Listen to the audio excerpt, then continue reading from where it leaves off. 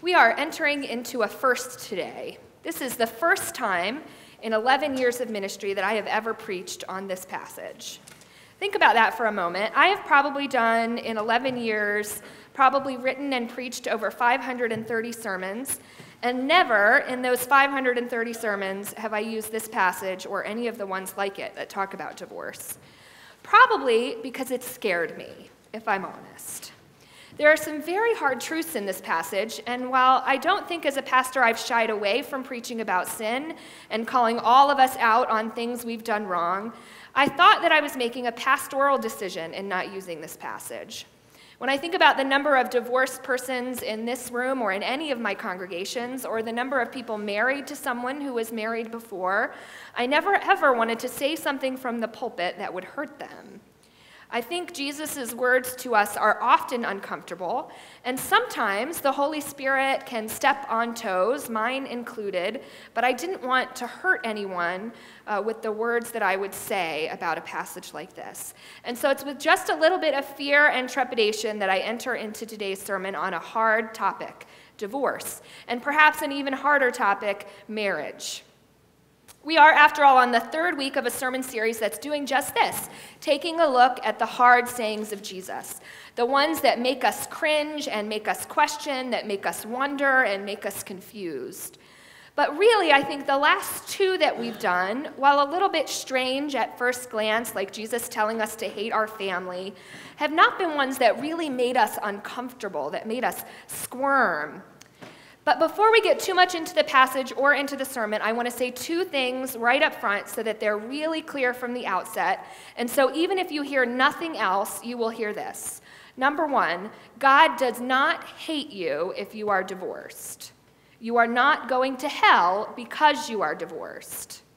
Number two, I believe that God does not desire for any of us, any of us, to be in relationships that hurt us in relationships that are abusive in any way. So while I don't think God likes divorce, I think that God would choose us being safe over us being in a marriage that breaks us. So I want to be clear about those two things before we look a little closer at the passage. In today's scripture, we encounter something pretty typical for an interaction between Jesus and the Jewish leadership of his day.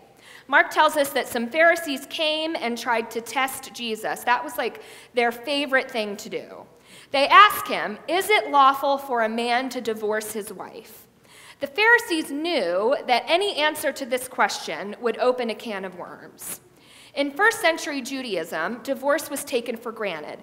The only aspect of it that was debatable was how serious the grounds for divorce should be.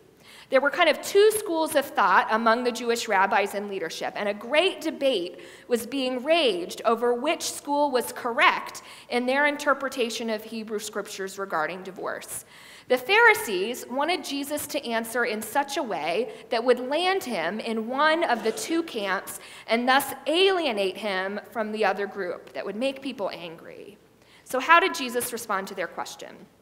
In his response, Jesus first asked them to cite the law of Moses. In verse 4, they said, Moses permitted a man to write a certificate of divorce and send her away. They were quoting from the book of Deuteronomy, chapter 24, and verse 1. It says, If a man marries a woman who becomes displeasing to him because he finds something indecent about her, and he writes her a certificate of divorce, give it to her and send her from his house. In this law, a man could divorce his wife if he found something indecent. There was no court needed. He just wrote his wife a divorce certificate and sent her on her way.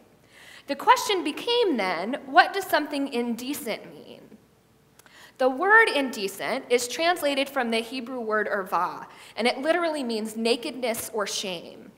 During the time of Jesus, as I said, there were two divisions among the Pharisees, among the rabbis, called the school of Shammai and the school of Hillel. We've talked before about some disagreements that those two schools had. The school of Shammai taught that there was only one ground for divorce, and that was in the case of sexual immorality like marital infidelity and adultery. They interpreted the word erva to mean sexual indecency. On the other hand, the school of Hillel interpreted the word very liberally. They taught that the word erva meant any kind of indecency, including a wife shaming or embarrassing her husband in some way.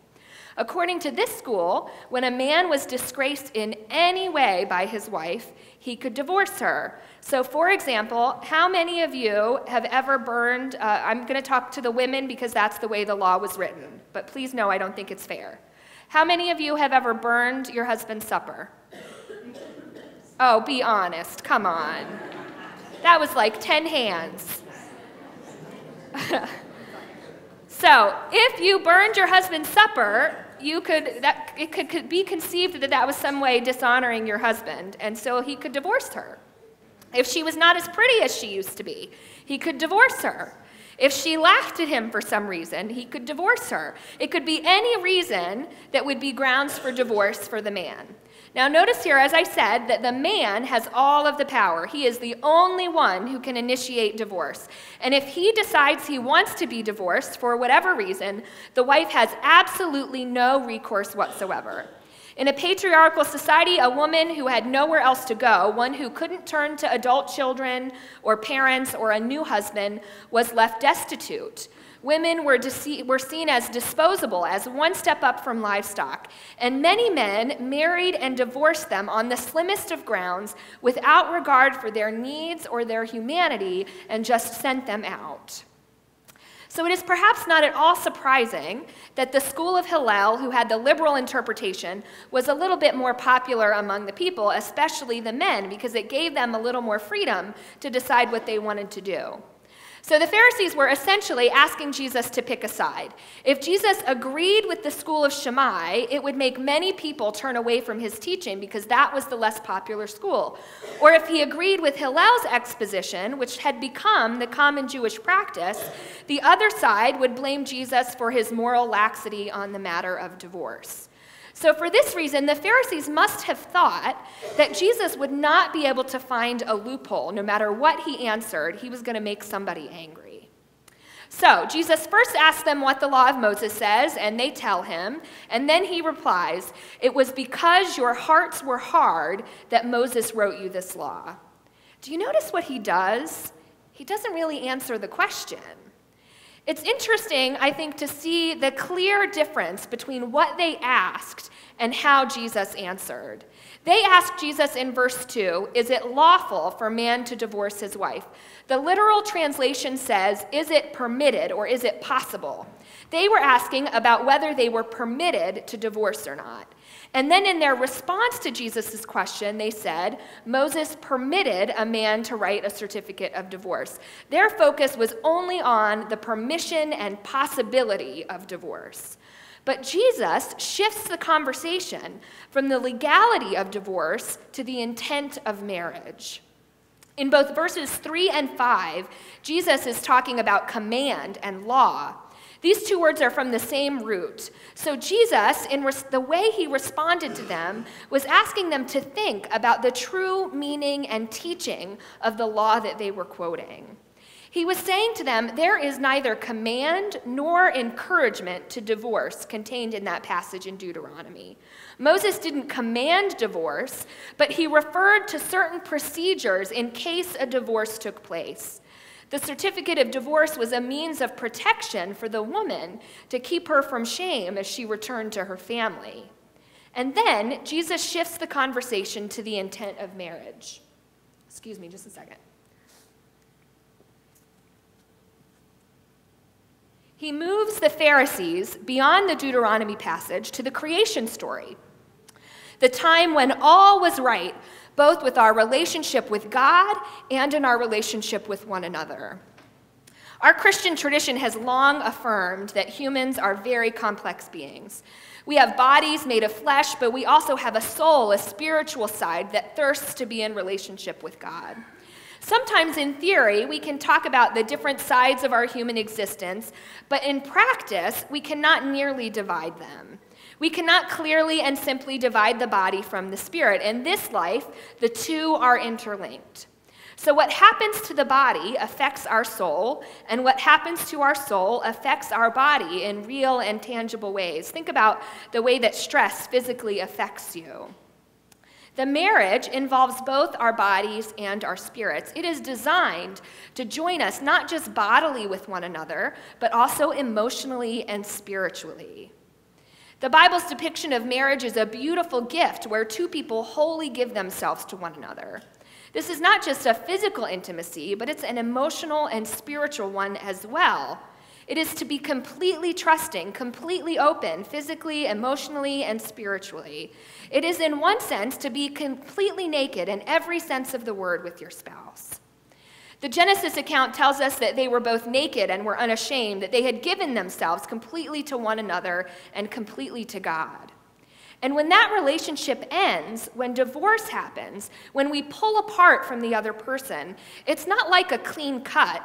It's more like a ripping or a tearing. We're left with a jagged edge, and little pieces of them stay with us, and little pieces of us stay with them. The term hard hearts that Jesus uses when he answers the Pharisees is often used in the Bible. It's referring to one's soul becoming hardened by sin's deceitfulness and losing sensitivity to wrongdoing. Scripture tells us that Pharaoh's heart is hardened, and so he will not let the Israelites go. And the gospel names, names Judas as having a hard heart right before he betrays Jesus. A hard heart is one that is selfish to a fault and insists on taking care of one's own self.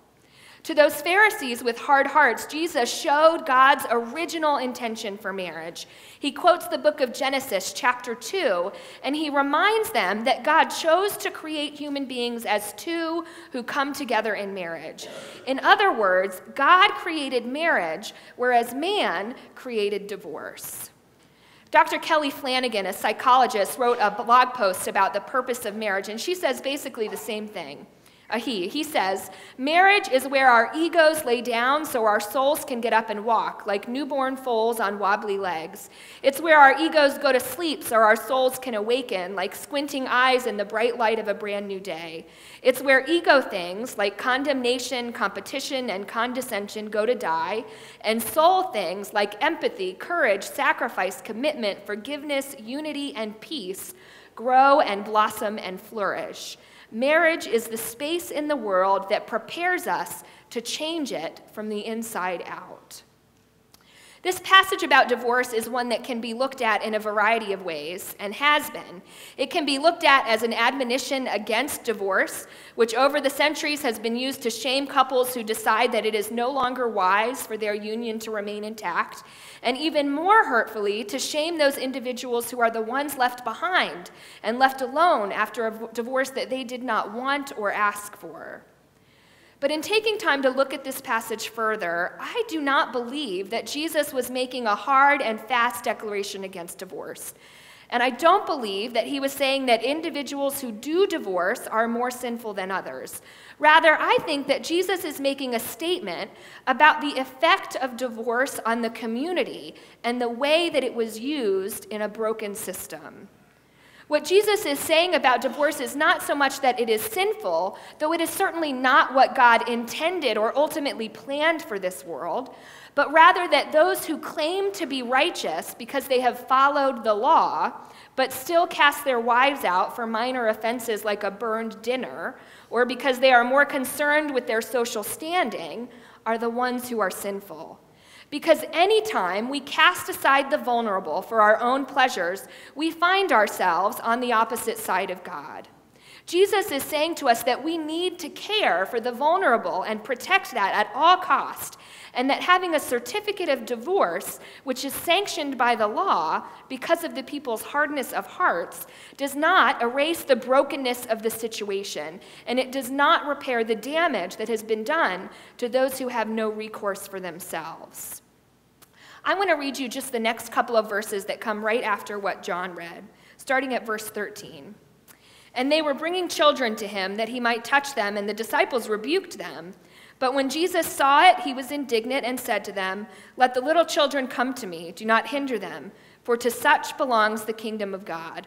Truly I say to you, whoever does not receive the kingdom of God like a child shall not enter it. And he took them in his arms and blessed them, laying his hands upon them.